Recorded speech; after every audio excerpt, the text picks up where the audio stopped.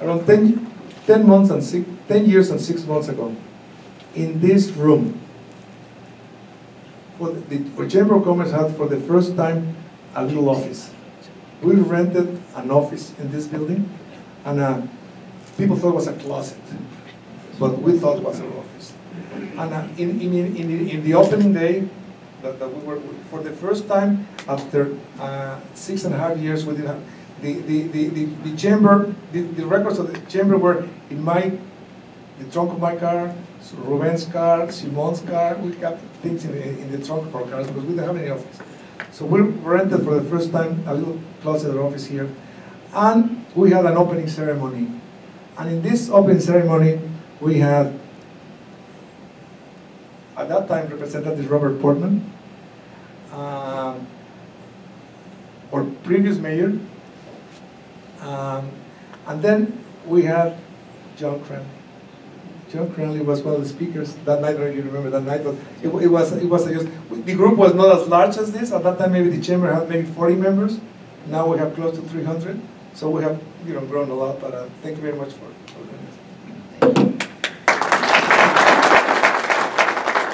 Thank you. It's great to be here with you, and I hope to work with you for uh, many years to come.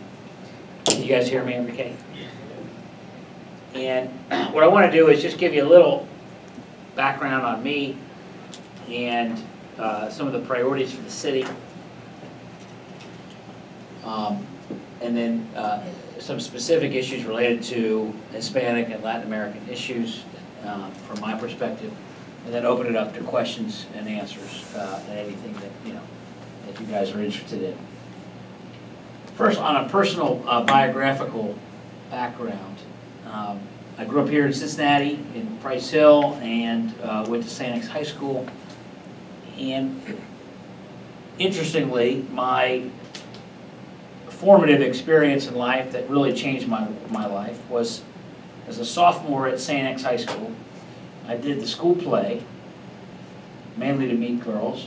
And we did a play which happened to be picked about uh, famous Latin American, uh, Archbishop Oscar Romero, who was the Archbishop of El Salvador in the 70s, and he was murdered in 1980.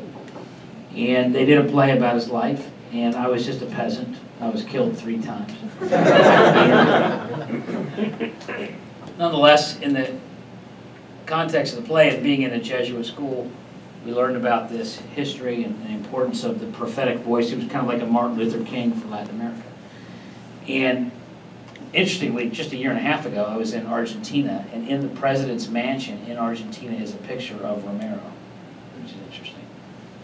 Sadly, on the third night of our show, November 6th, I can even tell you the date, November 16th, 1989, on that morning, uh, the death squads marched into the Jesuit University in San Salvador, similar to Xavier University, but it's in San Salvador, and murdered six Jesuit priests, the cook and the cook's daughter, same way that Romero had been killed nine years earlier. And granted, I was in, you know, they say that those of us from the St. X Mafia are brainwashed. Well, this was pretty powerful brainwashing.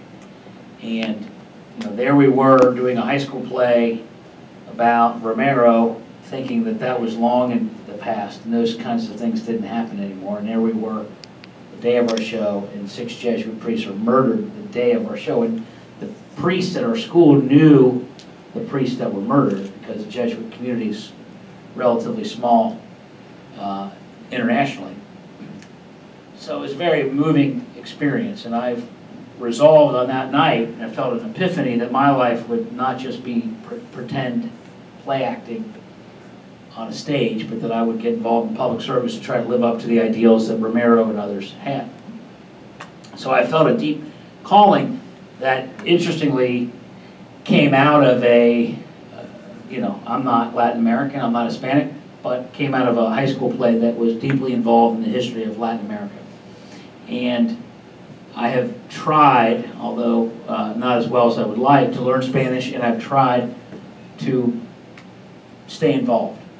So the next summer after that high school play, I went with the Jesuits down to the Dominican Republic uh, for the entire summer. I spent another summer in, uh, in Guatemala. Uh, I've been to Mexico, in fact, I was in Mexico just a couple weeks ago. I Went to Chichen Itza for the first time, which was great. Also spent some time in Cancun.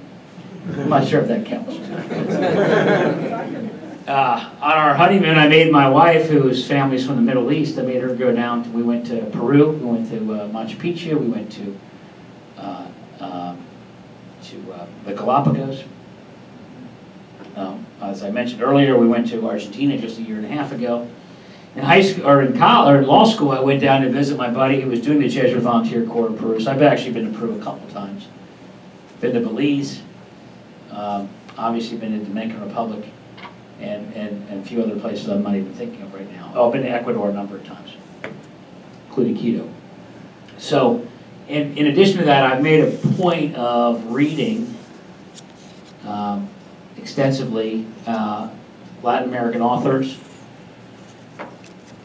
uh, from, uh, anyway, it- it- it- you know, from Gutierrez, you know, Gustavo Gutierrez on the theology side to Hundred Years of Solitude to uh, uh, Isabel Allende to more recent stuff, Marie Arana's books, you know, to Francisco Goldman, who's another Latin American author and Argentinian author. So anyway, long story short is, I have a great appreciation and personal uh, experience in South American, Latin American culture, and would love to help improve those ties and improve the pipeline uh, here between Cincinnati and the South.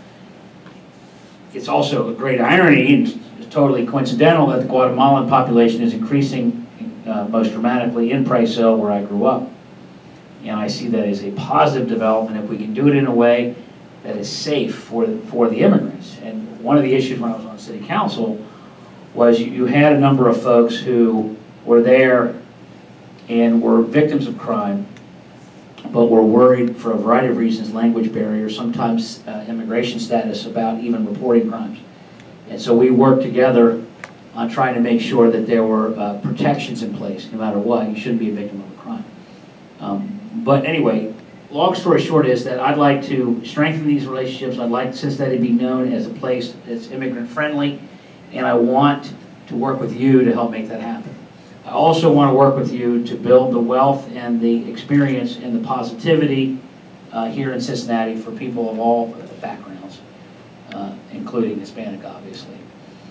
And I, as you can tell, I have a personal passion about it. And it is the closest neighbor to us, and so I think it is particularly important. And I want to get involved in immigration issues specifically, and certainly refugee status. I want us to be known as the most welcoming city in the world for refugee issues.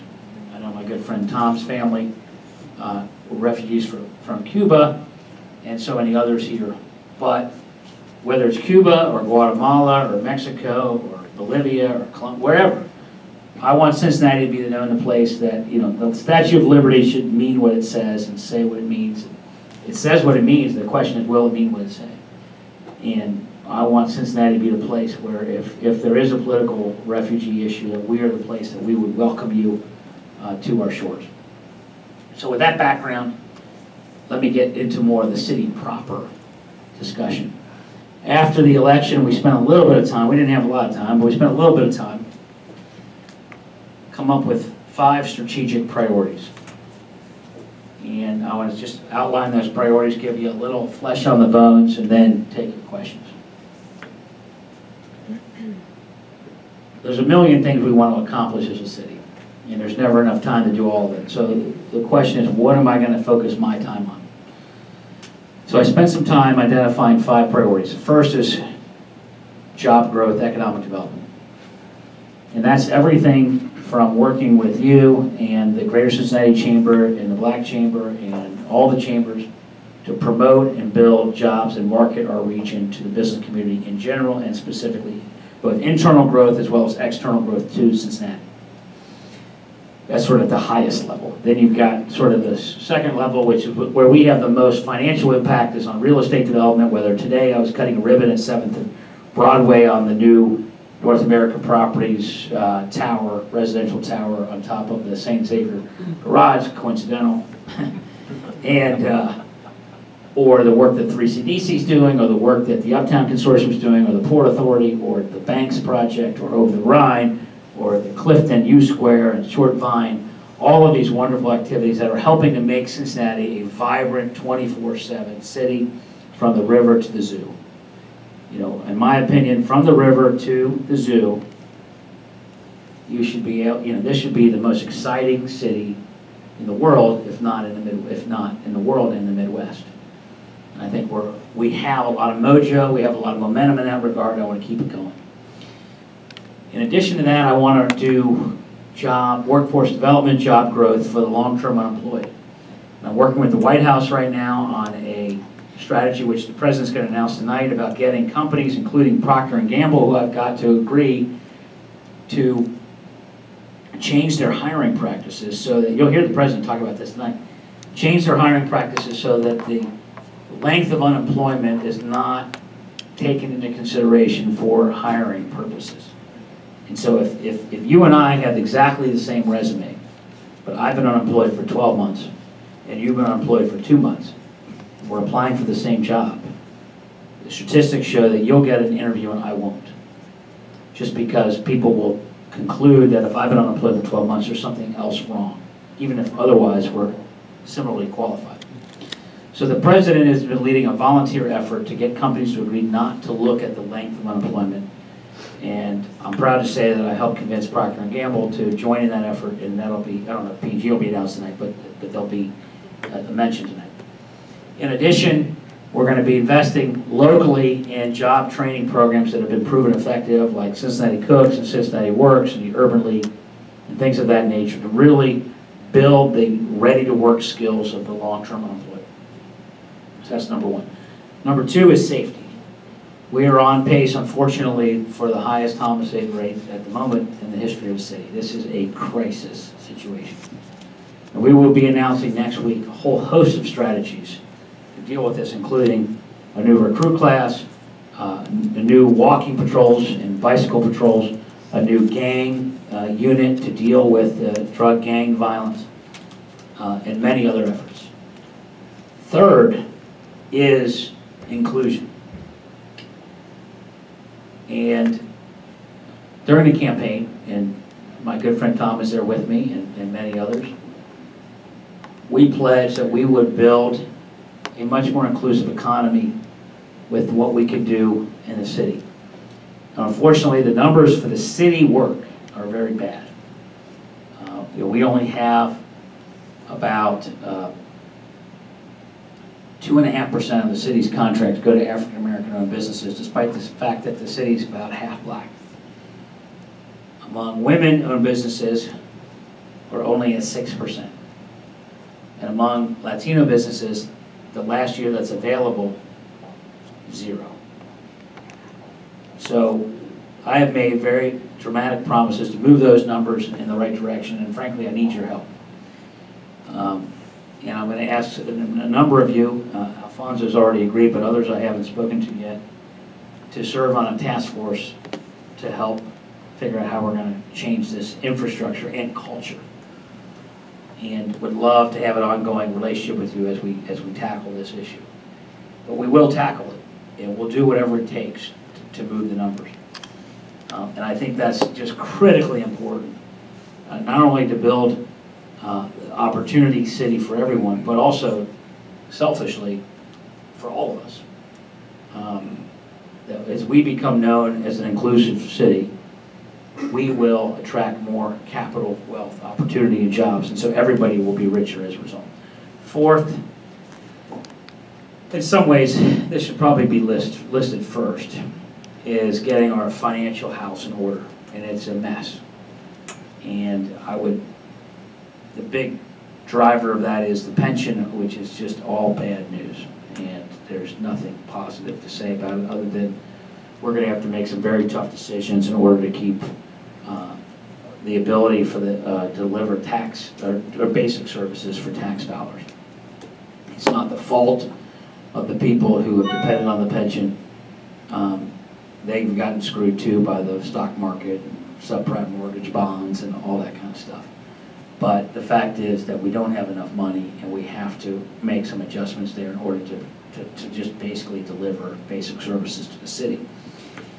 And fifth is making specific, concrete, visible, tangible improvements in neighborhoods beyond downtown and Clifton, uptown area. So whether it's building a square in Westwood uh, to build their quality of life, or building the Wasson Way Bike Trail on the east side, or whether it's working with the port to try to improve Montill.